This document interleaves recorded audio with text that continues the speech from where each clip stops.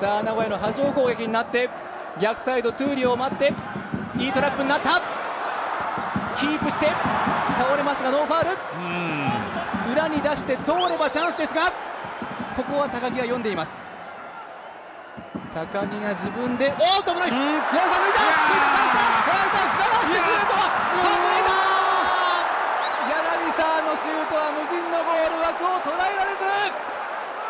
これは大きかったですね今ね。